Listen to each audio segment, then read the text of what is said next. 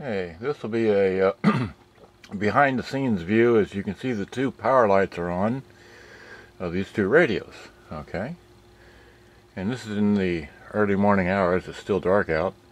That's why it's like this okay? So here I'm going to show you that let's see. And then here I'm going to throw a little light on let's see there's the one with the there's that one.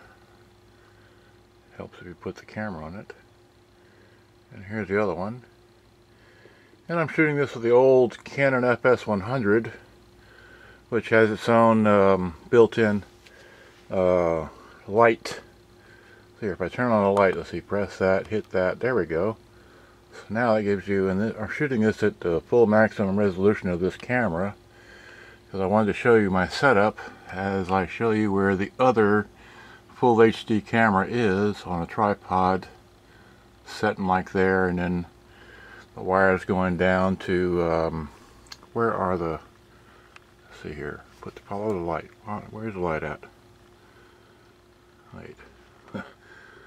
Okay yeah there's one microphone and the other microphone is um, well we can't see it not in this because I'm standing in the doorway of the room but anyway.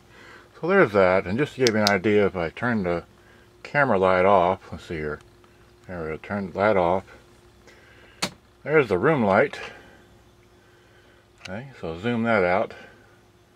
Zoom that back in again, turn that off. And now I have the, see, that was um, this flashlight, so having too much fun here. and then here's just simply the biggest light I've got.